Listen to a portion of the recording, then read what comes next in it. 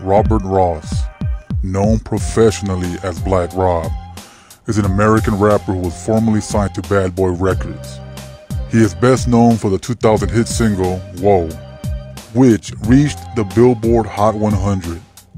Black Rob grew up in East Harlem and began rapping between the ages of 11 and 12. He was inspired by the artists he listened to regularly, including Spoonie G, Dougie Fresh, and Slick Rick. When he was 22, he joined his first rap group, the Schizophrenics. Though they did not release any albums, he initially rapped under the alias Bacardi Rob. He began associating himself with the Bad Boy label as early as 1996, appearing on the Bad Boy remix to 112's Come See Me.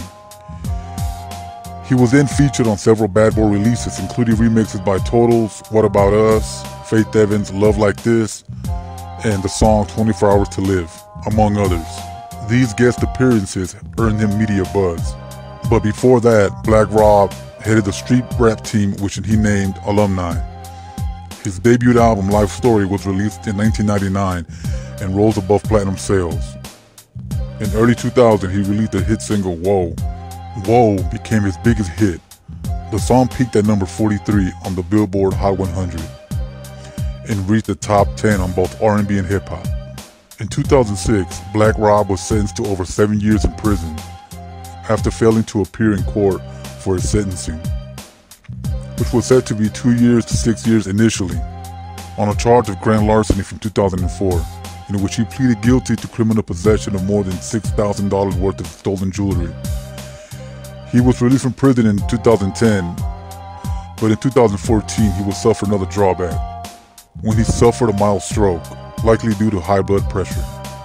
He has since recovered and in 2015 said he was feeling better after adopting a healthier lifestyle, in which he gave up drinking and began eating better. I had to change my health regimen and how I eat. I don't drink anymore. He is the father of four children in 2015, Black Rob released his fourth studio album, Genuine Article, on Slim Style Records, which he produced with Jamal Mosley.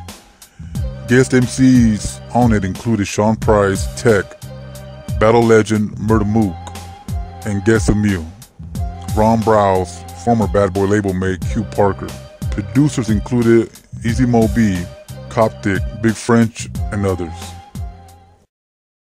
Thanks for watching. If you can, make sure to check out my friend's audiobook down below. It's about a guy who gets into counterfeiting to help his family. It's really good. It's available for free on Audible. It's also available on iTunes for $5.99, link down below. If you like Breaking Bad, you'll definitely like his audiobook. Just trying to show my friend some support. Thanks again.